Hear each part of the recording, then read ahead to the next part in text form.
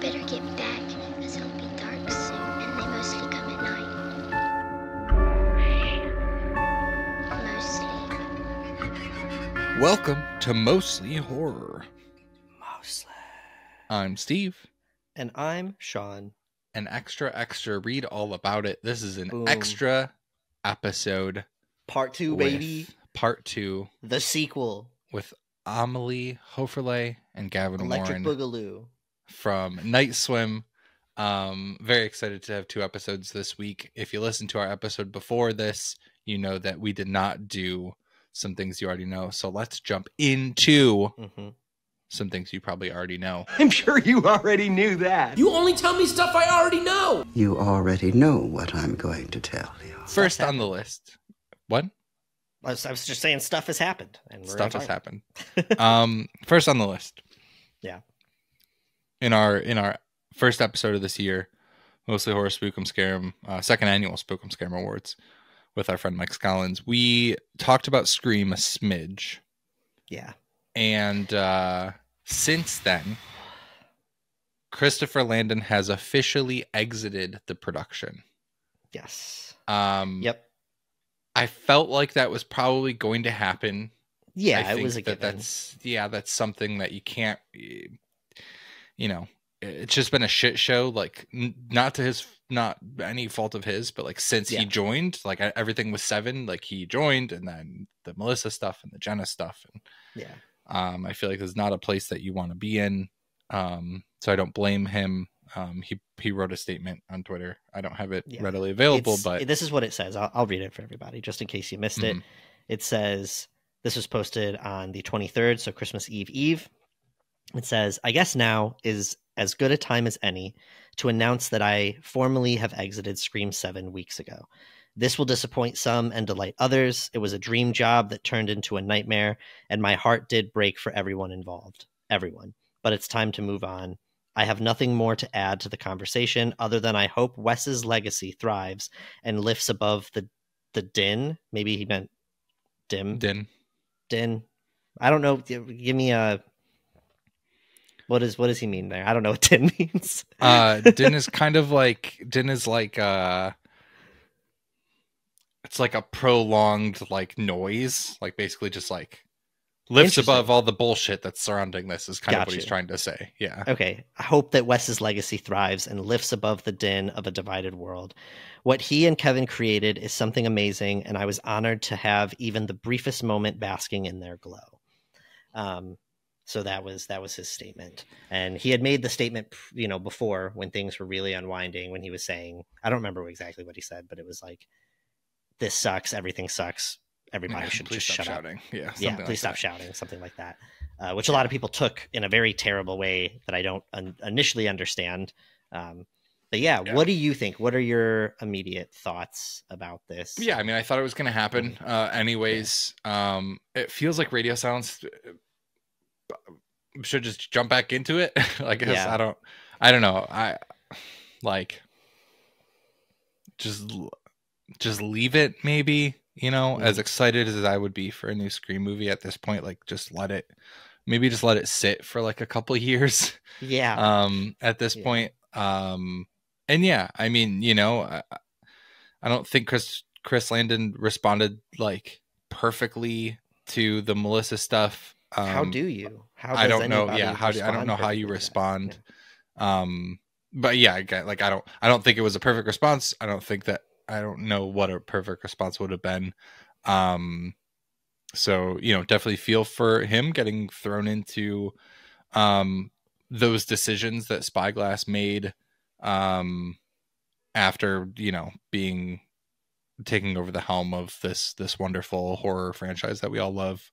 Um but he's remaking arachnophobia so hopefully he just continues Yeah. to make dope stuff because his movies Yeah. are fun so Absolutely. Um, yeah, it's it, going through just like his Twitter and some of the things that I've seen on there and some of the responses to him. I understand that people feel very passionately about the situation. That's totally fair. I don't personally understand really aiming this so much at him. I know that people we, we live in a time where there's terrible things happening right now.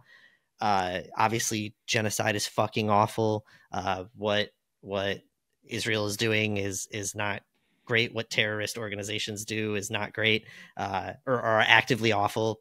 Both on, on both parts, it's worse than not great. These are terrible times, um, and people that use these things as an excuse to be anti-Semitic are terrible. But I think that and and people that just you know have large platforms and don't say anything like that's not the best move either. But also the way that people just expected him to rush out these statements defending her. Like there are so many things that probably go into legality stuff regarding Mhm. a movie and decisions that are made. Like like and it, it takes time to process and think and figure out what the fuck is going on. And i just think that people rushing to that aren't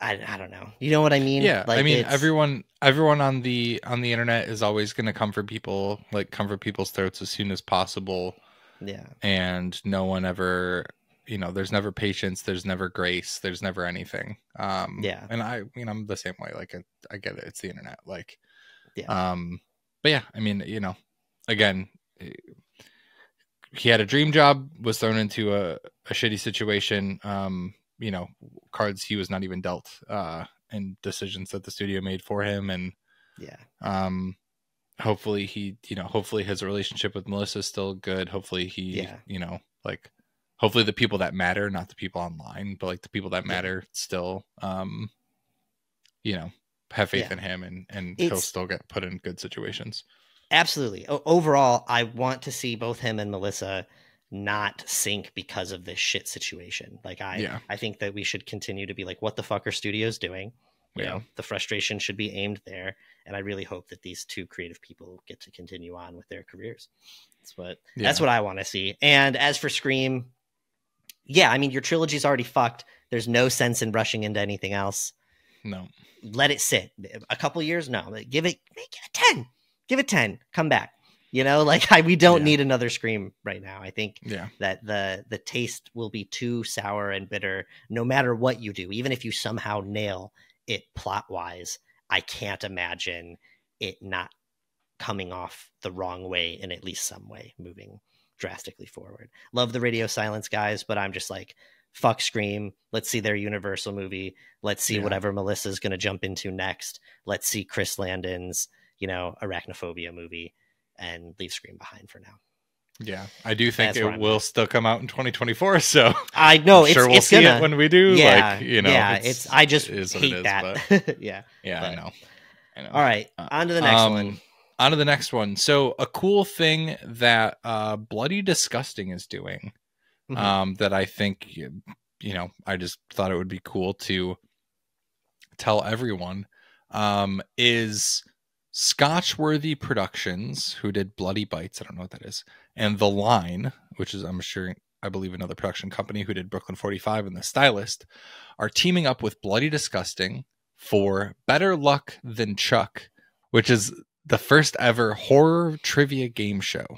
Um, and it has a Universal Halloween Horror Nights grand prize.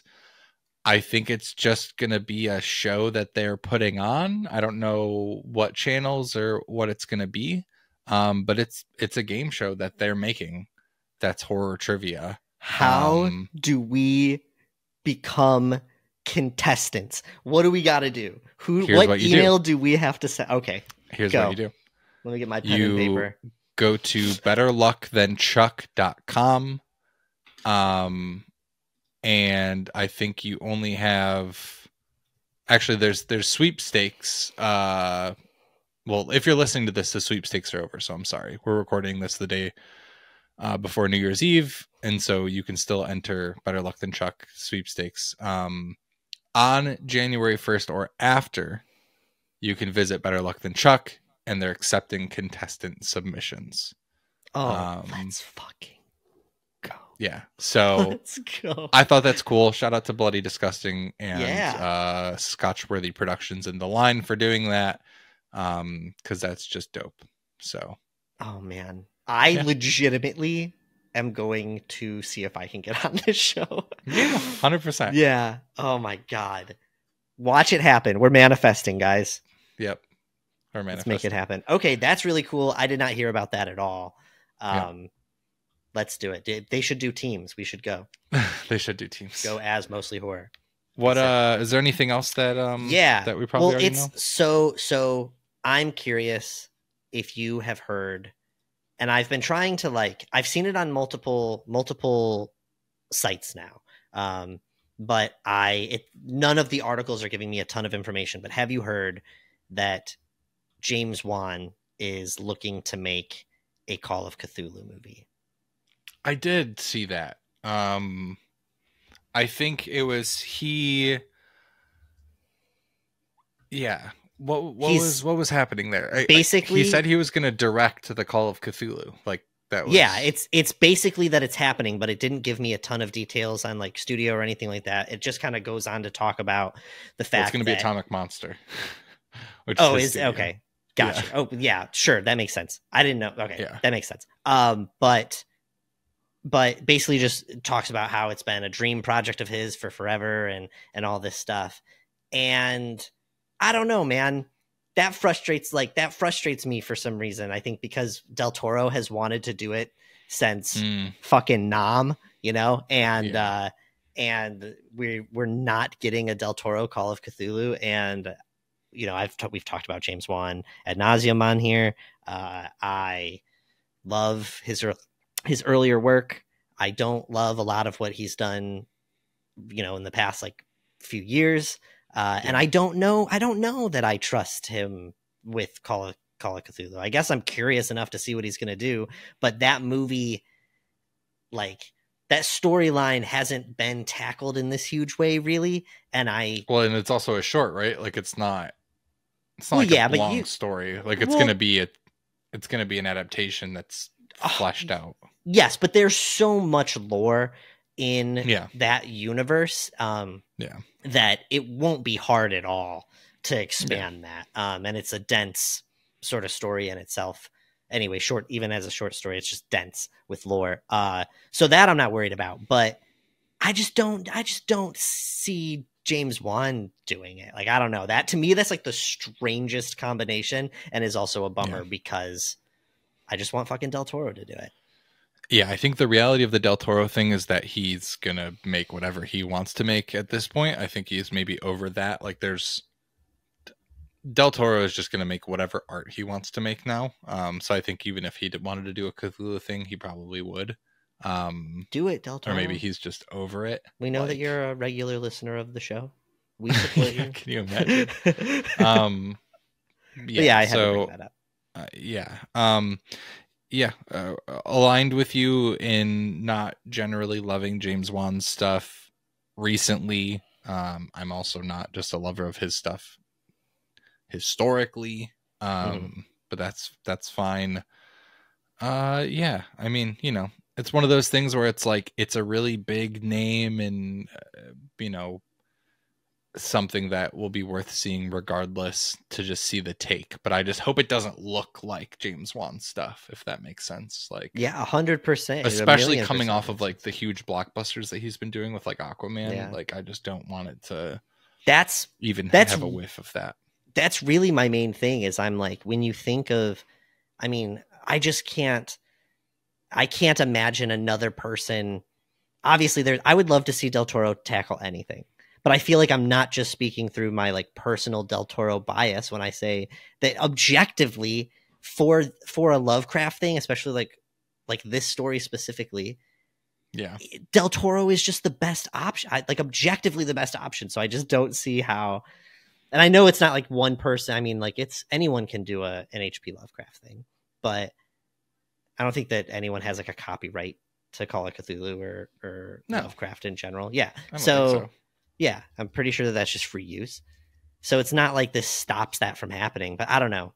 I just don't want anyone else to get to it before Del Toro, and specifically probably not James Wan. yeah based on the the thing that i read it said that yeah. he's been working on this like for years james wan has um It would So be know, so think- cool if he proved me wrong and it was just killer. But yeah I don't know. i mean we'll see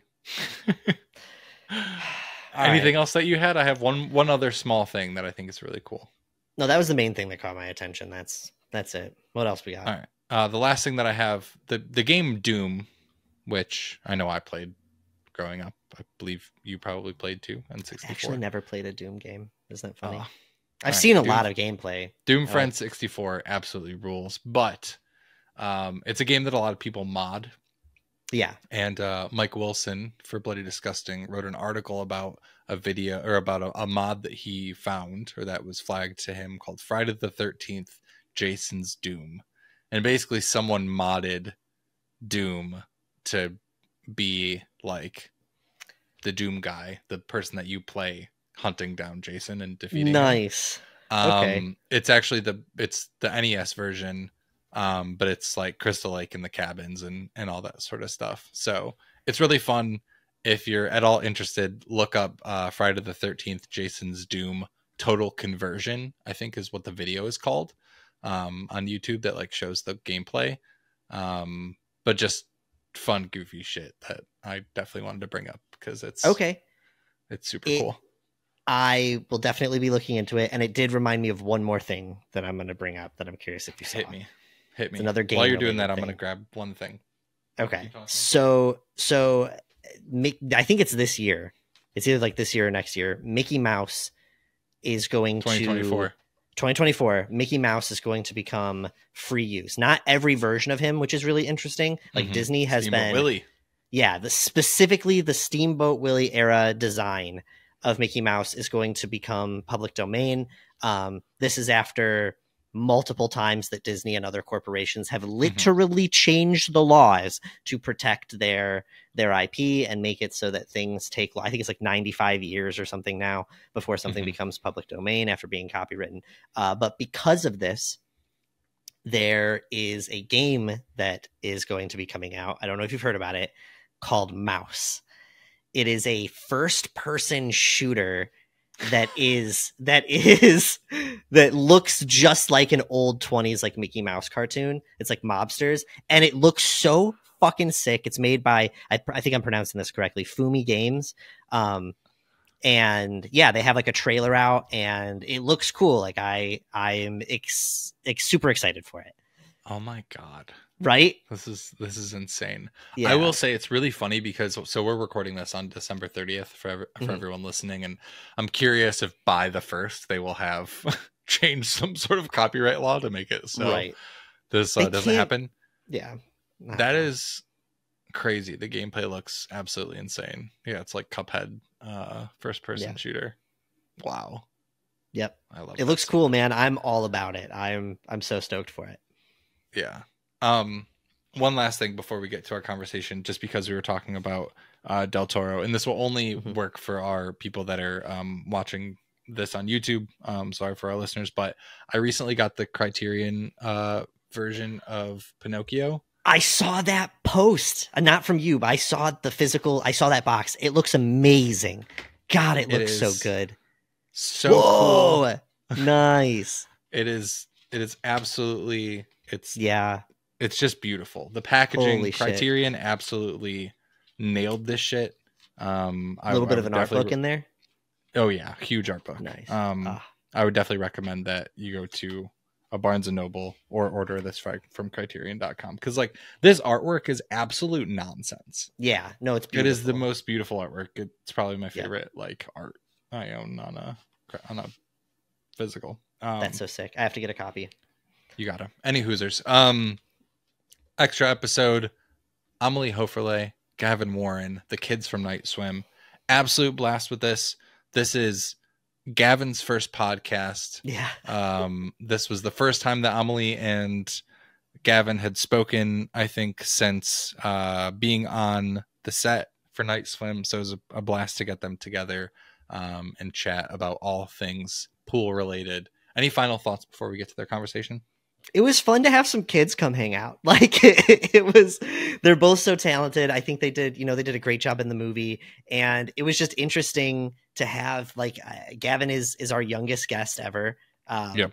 You know, and and it's not like we have many. I think Amelie is like 19, Gavin's like 15. Uh, Yeah. It was just it was just interesting. I could feel the youth in the room. Felt like Yeah. uh, it made us feel really old.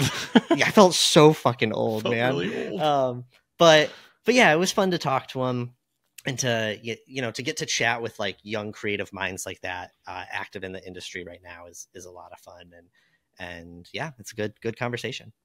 Yeah. On that note, we will get you guys over to our conversation with Amelie and Gavin.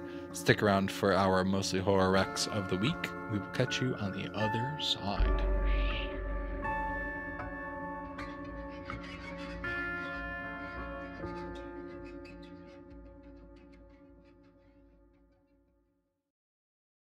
All right, we are joined today by Amelie Hoeferle and Gavin Warren. Uh, Amelie and Gavin play brother and sister Izzy and Elliot Waller in the new Blumhouse film Night Swim out January 5th. Guys, thanks for joining us today. We're really excited to have you. Thank you for having us. This is so fun. Yeah, Yeah, we listen. I I do have to say we were just talking with with Gavin off the air about ripsticks, and it has me it has me invigorated. It has me energized to have this conversation.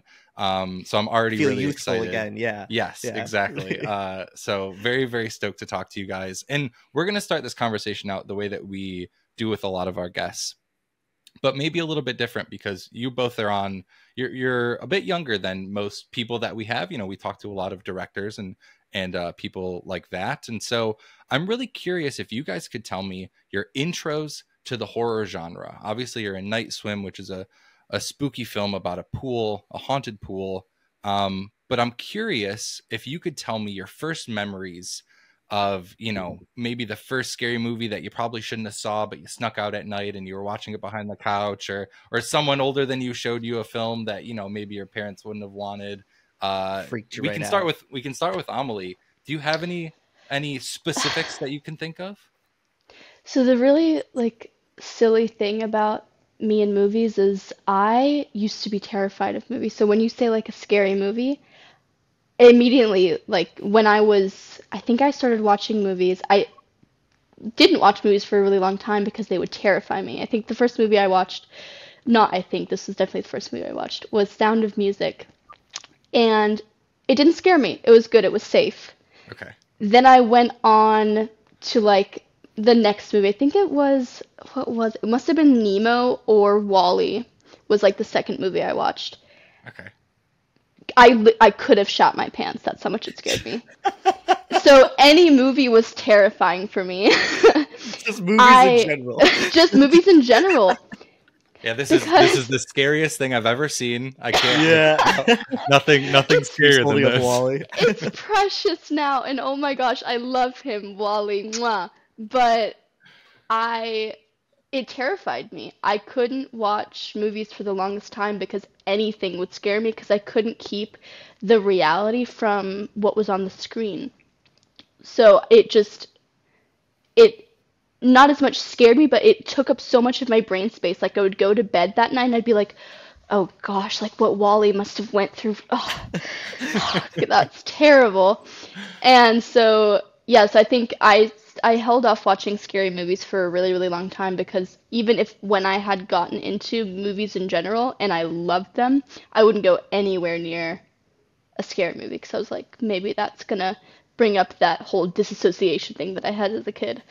So, the first scary movie that I watched, um, like horror, I think was, and this is awful to as a beginner, but I think it was like um, it was either Midsommar or Hereditary. That's such an intense. You're jumping in. Speaking of night swim, you're jumping in the deep end right here. Like that. I was an the deep awful, an awful like dip in the. Oh, there another one. T- Yeah. Toe dip in the pool. Um, Yeah.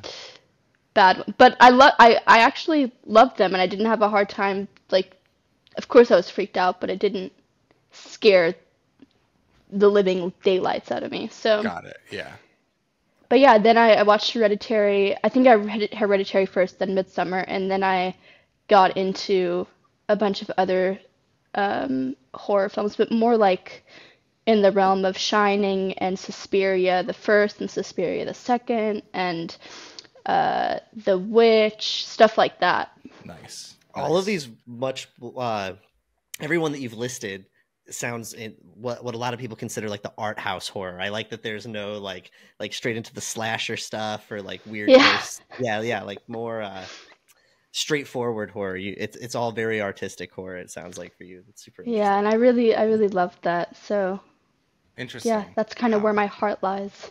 fair. Gavin, Gavin, what about you? Was it uh was it Winnie the Pooh or you know because we got Finding Nemo and WALL-E, so I'm really curious. No, I'm, I'm joking. Honestly, I would say the scariest movie I when I was younger was probably The Grinch.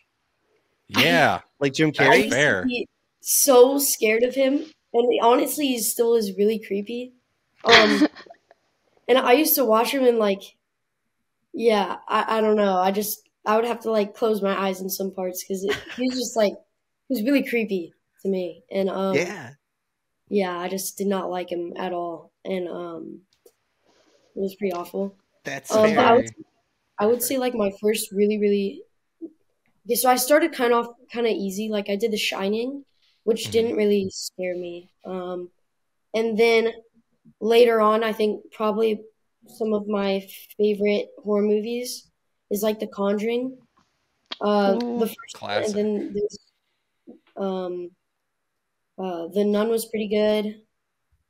Uh, yeah, they were all just really creepy. But honestly, yeah, The Grinch, I just could not watch as a kid. I would like wake up really late because I I would have like dreams about it, and then like sleep for like the next couple days, and it was really bad. Uh, like like one time I had to wake up my mom to like sleep in her room because it was it was pretty bad. Bad. I feel that. I Yeah. for Yeah. like an hour, I think, whenever I was This is- younger.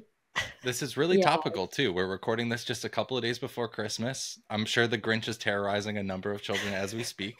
It terrorized me today. Like I was listening to the soundtrack. Yeah. Listen, Jim Carrey is not Jim Carrey in that movie. He's he's Yeah. something completely It's- deranged in the best way possible. But I can understand how that would be very creepy. Yeah, well, it is it's very scary. Not gonna it's lie. that uncanny valley thing. They have him in so much makeup. You know, the Who's in general, honestly, almost freak me out more than he does because they just changed. True. Yeah, they changed. I so was much thinking about, about that uncanny valley thing because I fell down this hole watching all these videos on it, and that actually scared me more than a lot of things have scared me. Yeah, Gavin, do you know what what that is? what? The uncanny valley. Do you know that? Uh-uh. You, oh, uh, it's it's a now I'm rabbit hole. You conflicted can, if you should look at it or not. it's it's um it's just a, a a principle about like um things that look human but not quite human so like animatronics or like weird robots and things like that yeah like when people just don't look fully right or or like Jim Carrey he you know you can tell there's a human under there but he has this makeup on that makes him look distorted and strange um you know me and me and Steve are are 90s kids so a lot of the movies we grew up on were from the 80s and they had a lot of weird puppetry and stuff and those movies they're kids movies but used to freak me out Yeah. and Yeah. a lot of people from my sure. my I feel like Ex Machina does that too. Yes. When I watched Ex Machina, I was super scared, but I was like, it's actually not that scary. Why am I so scared? And then I read about the Uncanny Valley thing, and I was like, Yeah. oh, Yeah. Yep. It's good. We should all be afraid of robots because they're gonna Yeah. Yeah. they're they're gonna take over and we just need to get ready for it. But Yeah. let's uh let's, let's Let's- jump in while we have you. Let's jump into some night swim stuff. Sean, you wanna you wanna take yeah absolutely absolutely we're um you know night swim is this movie uh, that has come out that's specifically focusing on a scary a scary pool so you're doing a lot of a lot of shoots in the water i've spent you know just from the show we've spent a lot of time looking at behind the scenes i've seen how complicated uh, these heavy water shoots can be so i'm just curious uh, maybe maybe gavin we can start with you what was it like spending that much time in the water shooting this movie. I imagine you guys just got pruny. I, I don't know if they had all these procedures to to keep you guys warm. What was the process like for you? Personally, I love the water. Um, and I would like go in the corner and like blow bubble rings um, and, and just mess around like 90% of the time. Um, but like sometimes it like it was a little bit cold and uh not the water. The water was really warm and it like felt really nice. But like Mhm. whenever you go in and out of the water, it's like it's kind of cold. So it's sometimes it can be a little challenging.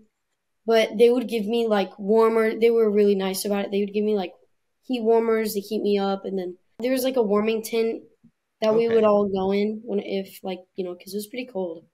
But Mhm. um, in the water was really hot and really nice. It was like a warm shower. Nice. Was it something where you were shooting like entire days just being in the pool or just pool scenes? Yeah, yeah. Sometimes we have um m- most of the day we have uh like pool scenes and like some days we have other scenes and like hmm we kind of go off and on. Got it. It must. Have, it's a nice break. You get to you know be in the pool for a day while you know you Yeah. maybe have a stressful shoot somewhere else, and then you know the next day you're going into the pool. Um, Yeah. Amelie, what about you? Is it something where you're like are, are you are you guys fans of swimming? Like, do you are you water people? So was it easy to you know be in the in the water for this long? I know Gavin for sure is, right? Yes, yes, I definitely am. I am too. I love the water. I love the ocean. I love being in the water. It's always been something where I felt like very at peace with. Um, however, I think like shooting an entire night being in the water is different. Like it's really fun, and then at Mhm. some point you're like, oh, okay, it's dark outside and it's 3 a.m. I'd really love to just be a little warm. But it was totally, and the crew and the team was super, super sweet about it. We were always made sure that we were kept warm and like had something to eat and to drink, and it was great. I really can't complain. Um, but yeah, I'd be lying if it was like it's different than than moving outside, like in uh, you know, regular gravity situations, whereas in the water it's just a different feel and a different the way you move and everything. Um, but it was cool. I every time I was in there, and I only had like one night where I shot the entire night in the pool. Um, but especially that night, I was like, gosh, this is like a challenge. This is like people.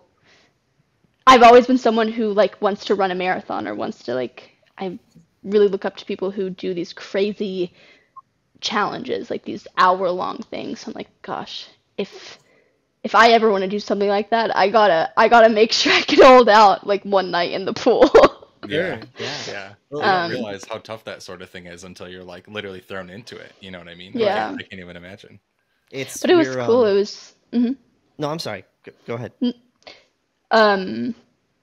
Oh, what I was saying is, if you're in the pool, especially at night when it's dark, that whole um the scare factor of things really turns up. Like I definitely noticed that I would get scared by like little, like the tiniest little movements in the water. I was like, gosh, okay, we're not even like this. I don't need to be getting scared right now. I know this is all fine, but why am I actually getting a little spooked? Right. Yeah. Well, it's uh, if you know, uh, by the time this episode comes out, uh, the movie will have only been out for a, a handful of days now. So we're trying not to be too spoilery, but I imagine that the scene that you're talking about is in the movie when everything turns up a lot. Uh, you know, the the heat really gets going. I would say it's one of the scarier scenes in the movie, and uh, I would imagine it's it's freaky. Uh, some of the stuff that I I saw in that scene was was pretty intense. Uh, some of the special effects. I w- I won't say much more than that, but some Yeah. of the makeup and stuff I was seeing. Uh, so I would imagine it, it's it's it's easy to freak yourself out of it.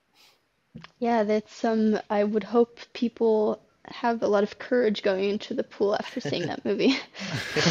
yeah this is gonna listen we we talked with uh we talked with with bryce mcguire the director a couple days ago and Yeah. you know he was obviously talked a lot about jaws with this but we we were saying there's a lot of horror films that have pools in them but none of them really try to make the pool scary where like that's the whole thing with this like i think you know like you were saying after after this comes out you're gonna have a lot of people that are like you know they're gonna think Scared twice the before they yeah before they go into that pool or before they buy that house with the pool in the backyard Yeah. it's it's gonna happen Gosh, we can't even let people enjoy the simple things in life. It's Yeah. really sad. It's just gotta- unfortunate.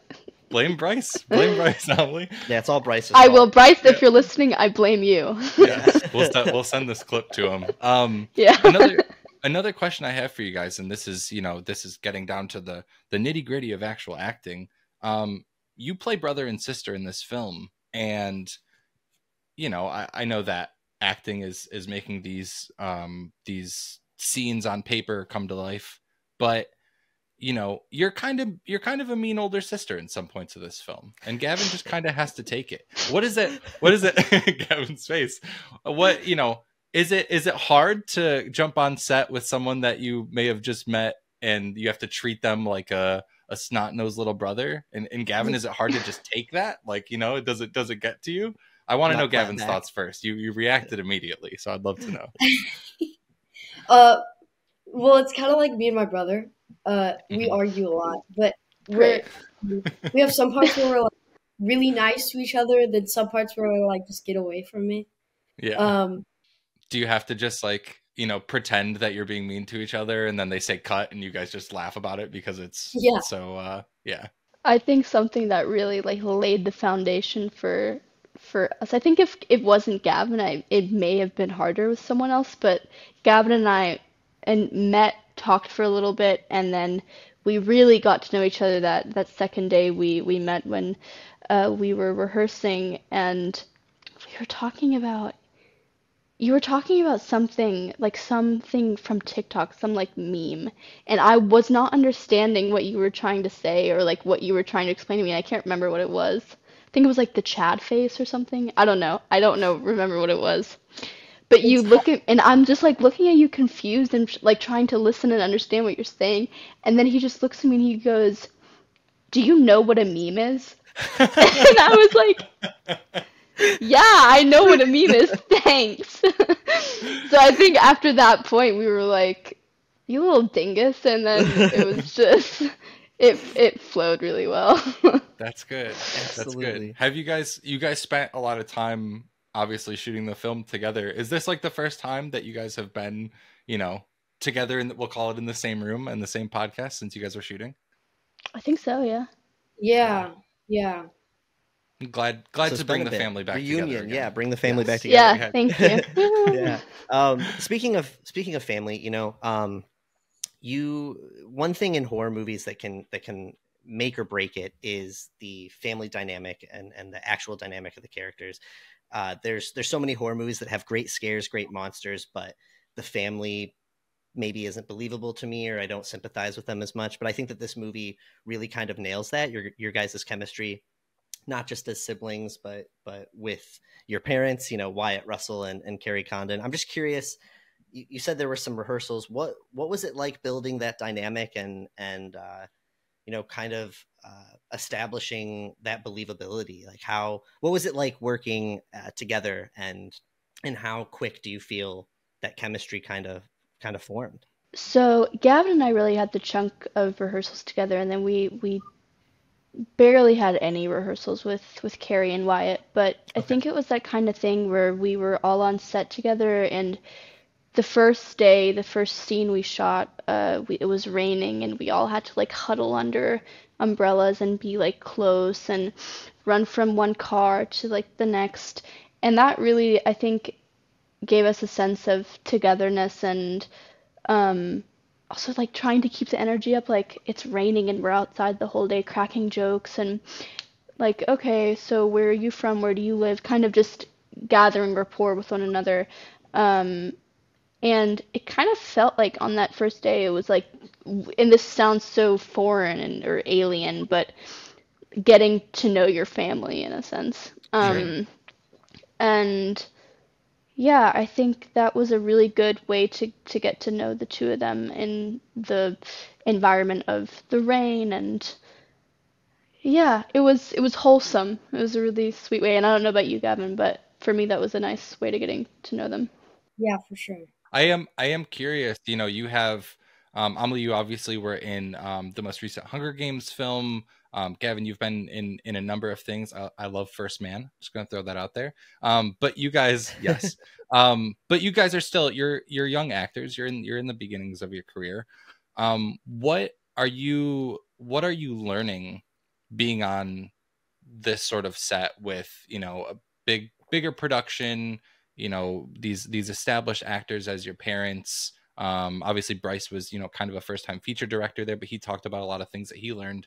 Um, is there anything that like kind of jumps out to you as like something that you you know really remember from the set that you're going to take to you know your next uh your next shoot or the way that you make a character next time anything like that Coming off of Hunger Games into this, this was a big production, but smaller than Hunger Games, which was nice because it was we really felt like a family because I knew everyone's faces and I knew everyone almost or a lot of people like Mhm. mostly without in our group by name we would talk every day and it was a very sweet sweet crew um and I think I really learned because I was on the set like every day all day the Mhm. importance of knowing when to draw back and to take time for myself to get back in touch after you know lunch or after a break get back in touch with my character because it wasn't um, the type of set where everyone was you know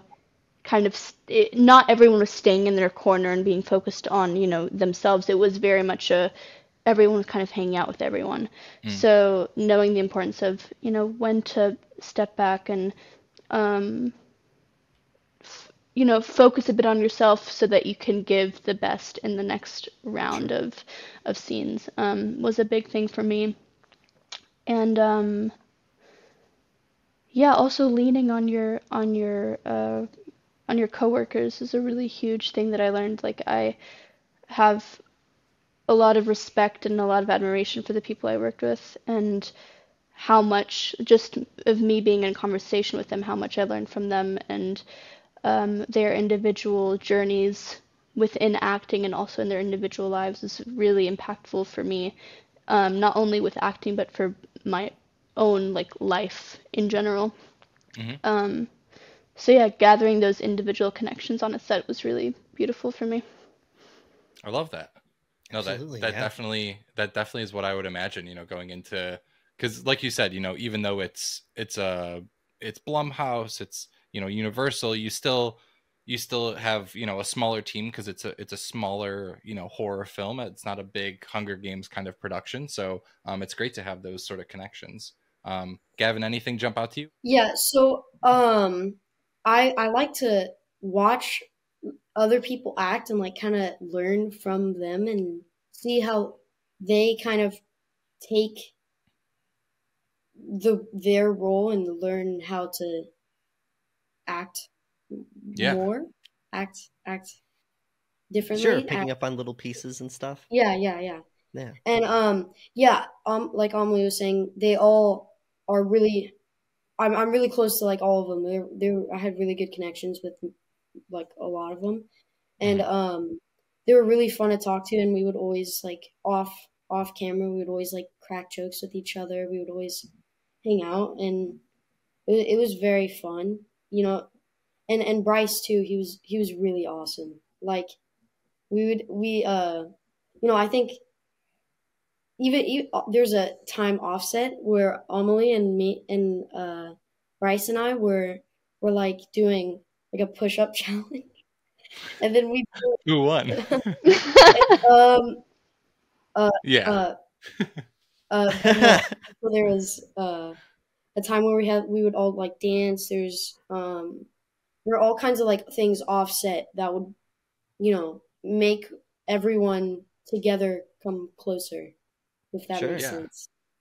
Um I love that. So, yeah. That's good. I'm sure that's that's something that you you only get on those smaller sets. You know what I mean? I think if it's something that's way way bigger, you don't you don't have that sort of connection. Um, so that's great. I I'd love to hear that. It's funny. I'm uh my friends have me in a month long push up challenge right now, so everything is sore all the time, and I'm just hurting. So it's really funny. Yeah, JT this is the first time. This is the first time I'm hearing of this guy. Yeah, I don't it's, believe it's, that Sean is in a month long push up challenge. I'll, I'll, send you. I'll send you. I'll send you the proof. I have Gavin, the Carfax after this. This, this side know. side thing. Uh, but either way, sorry, pain. Um, but but yeah, I, I just wanted to bring up. Uh, you know, obviously on the show, we we watch a lot of horror movies. Um, I always get really excited when I see new faces coming to the genre uh, you know, especially on the younger side, because some of my favorite horror movies are when when kids and younger people have to face these really intense situations. Um, you guys talked a little bit about your intros to the genre. I'm just curious: is do you see horror as a genre that you plan on exploring more in the future? Um, have a lot of fun with it. Uh, do you have any like dream projects or anything? Uh, any directions you want to go? Yeah, um, I'm really into uh, like drama and horror movies. They're both like probably what I'm best at. I just really, I don't know. It's it's just really cool, and I love doing them because mm-hmm. it's really interesting to see like the behind the scenes, like like including in scary movies, like how how they do that stuff and like uh how they do special effects and how they um you know, do like blood and like all that kind of stuff. It's really cool to see like actually in person and how like how like if you see it in the movie, you'll be like, oh, I know how they did that, like that special Yeah. effects. You know, you know what I mean?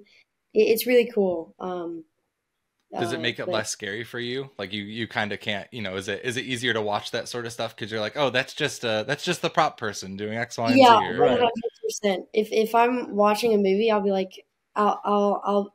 Sometimes I'll know how they do it, and it's and it makes it not as scary. Other like than someone who's watching it and doesn't know how any of it Sure. works. Um, but no, I still get scared. But yeah, yeah. Amelie, what about you? Is is horror something that you uh you enjoy performing in? Yeah, I enjoyed it, and I would really love to to venture down the path of doing more. Uh, I would say, yeah, more Mhm. psychological uh, things. I really, really loved uh, Bones and All Yeah. that came out this year. Um, so I, I would love to see myself in a, in a role like that in the future. I think that's really interesting, meshing this very real life into, yeah, also the horrors of real life. Um, of course, cannibalism isn't something that's Some uh, places, some necessarily places, real life. I would hope some not. places- Some place. I actually recently listened to a podcast um, about oh gosh, what's it called? It's uh, Search Engine, Hmm, I think is what the podcast is called. Um, and they were talking about um, this is called completely side note. They were talking about why people don't eat people, like because this kid at the dinner table, he's like three years old, four years old, was asking his dad, um, or like his dad asked him, "What do you want for dinner?" And he was like jokingly saying like, "Oh yeah, I want like a human brain, ha ha ha," and um, then his dad was like, "No, we don't do that." And the kid was like, "Well, why don't we do that?" And the dad didn't have like a necessarily good answer for it, just because it was it's such a taboo. Like, why do we not do it? Of course, I understand. What are you trying to say, Amelie? This yeah, is not where me we coming out that we don't. no, no, no, no, no. I'm just saying it's I it. interesting. so, like the, the, I guess the taboos of life, the biggest taboos are the ones that we don't even acknowledge as taboos. Um, that's, I think, it's a really interesting thing to go down, like, and how that fits into real life. Those psychological thrillers, I would Yeah, guess, fair. really I, interest me. I totally and some of the best stuff. Please don't think No, that no, I want to eat people. PSA. This is not. I already Yeah. see this going Yeah, we, badly. we make all the social media clips. Yeah, we're we're gonna say up, yeah. Amelie Amelie the cannibal. That's what the name of the episode's Yep. gonna be. Um, Yay! So I do, you know, obviously we talked about going into other other genres or staying in the horror genre in the future. I do want to ask, and this doesn't need to be horror. Going forward in your careers, if you could look at a crystal ball and choose one character that you would like to portray in a film, could be anything, could be a superhero, could be a character from a book. Uh, world a is remake. yours. We're living in the age of remakes. Yes, a lot of remakes happening. If you guys could play any character, who would it be? Whoever whoever wants to take that first. This is this is a thinker. I know this isn't a, an easy one, but I'm I'm curious if anything jumps out. Oh, I know. I can't remember her name right now. Give us give But- us context, and we'll we'll see if we can remember. Sylvia Plath the Bell Jar. Wait, very very uh what- very what the- deep cut kind of pull or or unexpected uh pull. there. Unexpected, but it's uh every I I would not every, but I would think a lot of women have read that book and it's left a big impact on them. A lot of people, I don't want to generalize to women, but that book oof, I know it's tough. I know it's a hard one, but just to I would love to to get the chance to to portray that because it's not at all who I don't see myself in her, Mhm. Mhm. but it's something that interests me so much that I would love embodying, even if it's just for those couple months, um, researching her and diving into that character.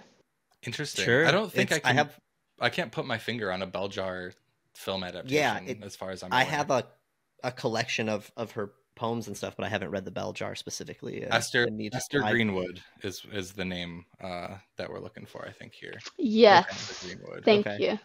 I'll have to read it. I'll have to look into it. I gotta say, I wasn't expecting that, Amelie. Thank you for Yeah. the thank you for catching us off guard. Gavin, do you You're have uh, have any characters that you would like to uh, you'd like to play down the road? Yeah, so of course, whenever I'm older, you know, you know, not right now, but I'd like to be um Gladiator. Yes. Gladiator. Uh, okay. Gladiator, Braveheart, like the main guys. That'd be pretty cool. I Um, love it. Riding into really battle. the others. Yeah, yeah, I love you know I love old war movies like sword fights and like gun fights. It's really cool. Um, I haven't been in many of them, so I don't really know a lot about how they work. Mhm. But I think it would be. I think it'd be pretty awesome. I like Uh, it. I I half expected you to say that, you know, the next time they remake The Grinch when you're older, you you take over and I was expecting that too. That I, that would have been a great answer, actually. put put Jim Carrey to Yeah. shame. No, Gladiator's sick. I, No, I- that's I great. And there's there's going to be a new Gladiator coming out. I think you know as we're recording this next year, and so maybe when they do the sequel to that, we'll have you know Gavin will be will be a part yeah. of it. I didn't know that. Yeah, heck Yeah. Oh, it's Hire coming. me. It's Hire me, please. yeah. you, you heard it here first, producers. Um, well, listen, Amelie, Gavin, it's been an absolute blast chatting with you guys. Uh, to all of our listeners, we've we've said this at the beginning of the episode, but Night Swim uh, is out January fifth. Check it out in theaters now, uh, guys. Thank you so much again for being on the show. We really appreciate the time.